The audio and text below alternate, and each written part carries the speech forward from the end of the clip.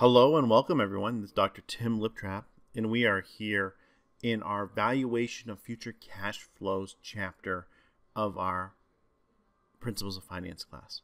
We're looking at a problem set of present value and multiple cash flows. We're going to do two problems in this particular uh, video, and I'm going to show you how I design an Excel spreadsheet. This is relatively simple, so just follow along and you should be fine, as long as you plug and you play. Which I mean by that is you plug in the numbers and then you get the answers. So XYZ company has identified an investment project with the following cash flows at a discount rate of 10%. Okay, just keep in mind the discount rate is essentially the cost of money. That's the cost of money that we're using to pay for this particular project. Or if you want to turn it the other way, it's interest, the interest that we're paying. So year number one, we're going to bring in cash flows into our accounts at $500. We're going to get paid $650 in year two, $750 in year three, and $875 in year four. So what they'd like to know is what are the cash flows total at a discount rate of 10%. The equation that we're going to use is PV, present value, is equal to future value over 1 plus R, which is in this particular case is the rate to the t, which is, happens to be the time, the number of years. So we're setting it up at PV at 10% is equal to, very simple. You just put this number, 500, over 110, because that's 10%. Then you're going to take 650, which is the second year, and you're going to put it over 110 to the second. Two to the second is for the second year. 750 for one over 110 of the third, and 875 over 110 at the fourth, and it equals 212526. Relatively simple. Now let me just show you this on the Excel format. So what I've done here, and I'm going to just plug in some numbers. We have 500, 650, 750, 875, and then these are going to be zeros. You just put zeros over here as well. Okay, so what I have here, what I've designed, is a very simple Excel spreadsheet. I typed in year one through year eight over here. Then what I did was I just, these are standing numbers, so they can be changed as you wish. So you can change to whatever you like. Up above here in this B3, I put a percentage. That is the current percentage that we're looking at. 10%, 8%, 12%, whatever. That is where you can put that number. What I did here was I took B5 over 1 plus B3. So remember we have to add the 1. So if you look at the formula, it is this number here in blue divided by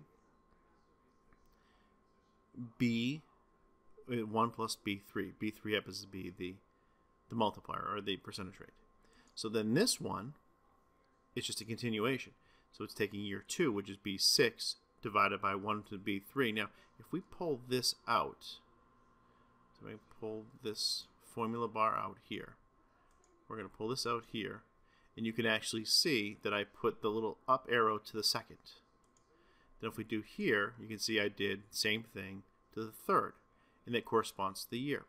So what this does is this calculates it out for us, and then I get a total at the end.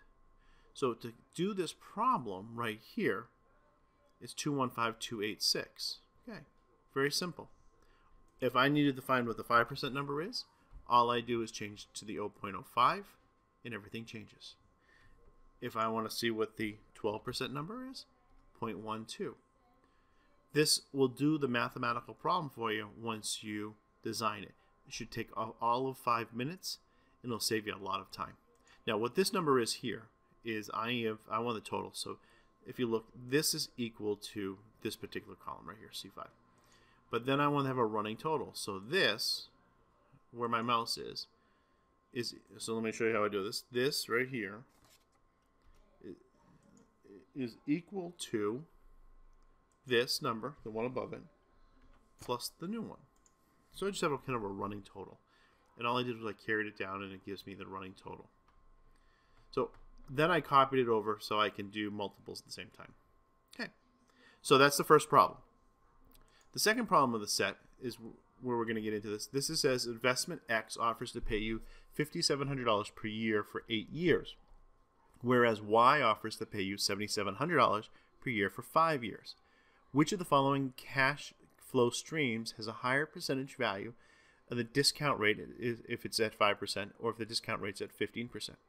We are going to use a very similar program. It's called the PVA. And that's the present value annuity is equal to C, and C happens to be the number right here, the cash flow.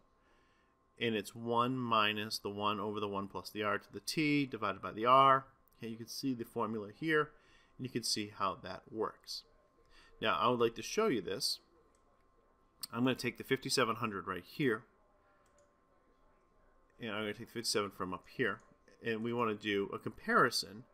So I'm going to come back to my piece here, paste 5700 in, and I'm going to carry it down for eight years if you're watching my screen.